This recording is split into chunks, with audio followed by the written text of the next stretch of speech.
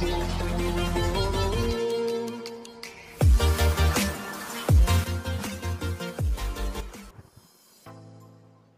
afternoon. I am Dr. R. M. Lalitha. Oral cancer is the eighth most common cancer in the world. Isn't it scary?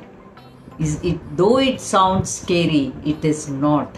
The good news is oral cancer is easily curable if detected early. Then why is it so common? Why the hue and cry? Here, the oral cancer is the cancer of the mouth. Cancer is nothing but a new growth that occurs in anywhere in the body. Similarly, oral cancer is the cancer of the mouth. So, what are the causes of oral cancer? The most common cancer cause is tobacco. The tobacco may be used with smoke or without smoke. In females, tobacco is used in the form of a quid. What do they add in this quid? They add betel leaves, arecanut, and slaked lime. They roll it into a quid and they keep it in the cheek, inside the mouth. This causes oral cancer of the buccal cavity. So, in females, smokeless tobacco is used often, and in males, cigarettes and beedis and pan masala. Nowadays, pan masala is available everywhere. Though they claim that it contains no tobacco, it is also having lot of tobacco content and use is very rampant among the youth. It is causing a condition called submucous fibrosis where the patient will not be able to open the mouth. How does a oral cancer look? Uh, oral cancer looks like a cauliflower growth or a white patch or a red patch. What are the problems the patient faces when he is having oral cancer? The patient will have a non healing ulcer. He applies many indigenous medicines and goes to several doctors with no avail. So, a non healing ulcer that is not painful, a white patch that cannot be scraped, or a red patch, and patient will not be able to chew or swallow properly and his mouth opening is restricted and he is not able to stretch his tongue out. These are the warning signs of cancer. So how do dentists play a role in oral cancer? Dentists have been trained to detect oral cancer because oral cancer is seen by the naked eye and the dentists are trained to recognize this. Sometimes in mass screening camps, they are trained to do a smear which confirms the diagnosis. So, how, how do these dentists treat this oral cancer? A specialist called oral oncologist or oral and maxillofacial surgeon plays a role in treating this cancer it can be cured by surgery or radiotherapy.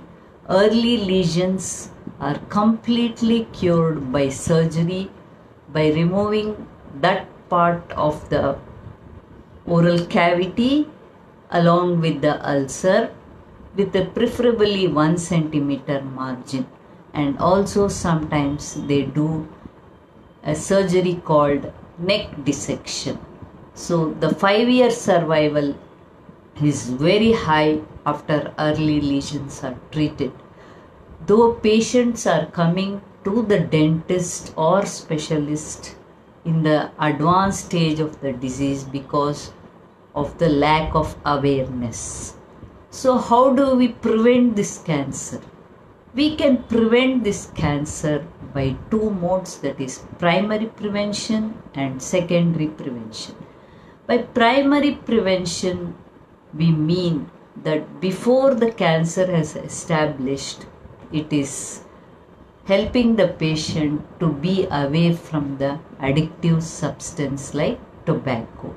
So, creating an awareness about the harmful effect of tobacco is one thing and eradicating or ban on tobacco products. This is very important. Secondary prevention consists of early detection of the lesion. So, when the patient can be educated about self examination of the mouth, we ask the patient to stand in front of the mirror and completely open his mouth and look for an enemy in the mouth in the form of the above signs which I told you like a ulcer or white patch or a red patch or sudden pain or bleeding in the gums or mobility of the teeth. So number one is self-examination. Number two is going to a dentist regularly. Regular checkup is a must and so also we dentists and specialists go for mass screening camps in the rural areas and we try to catch them early. So the message is cancer is curable if detected early. Oral cancer is a curable cancer and a preventable disease because the cause is known. Other cancers we do not know the cause or some extra causes will be there but here the cause is very well established and refraining from life threatening habits like tobacco and alcohol is very important. Diet also plays a very important role in preventing oral cancer. We usually advocate the use of fresh fruits and vegetables in in wholesome quantity every day. Raw fruits like papaya and carrots and oranges are very good to prevent and tomatoes as they contain carotenoids and lycopene.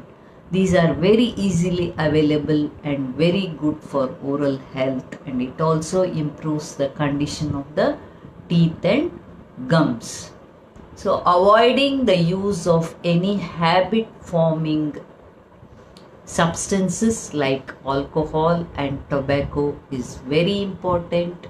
Visiting a dentist or a dental college regularly once in six months to get a regular checkup of the teeth as well as the soft tissues of the mouth, especially when a person is an addicted to tobacco or alcohol is very important. Cancer is curable if detected early.